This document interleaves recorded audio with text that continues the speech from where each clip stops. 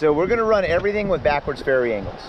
All right, Backwards ferry. backwards ferry angle. So you're gonna point your your nose at what you don't want to hit and your butt away from it, Okay. and then you're gonna row away from it. So we don't want to hit that rock right there. Swing it around, Oh. and now start rowing to push us backwards. Uh, we're gonna just glance on it. It's okay. So this one's all right. Middle of the boat's not gonna hit it, okay? Now we don't wanna hit that rock. So point the nose at it. We're already pointed there.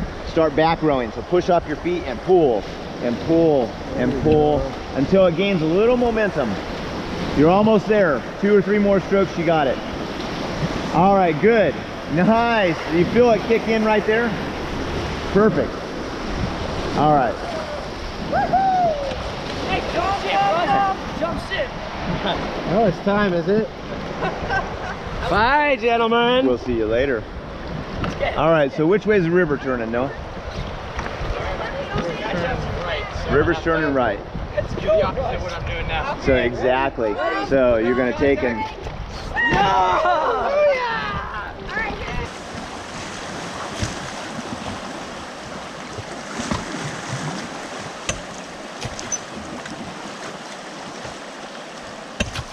That's plenty. All right, good.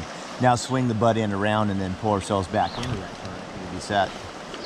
Looks shallow up there again, so try and find a deep spot.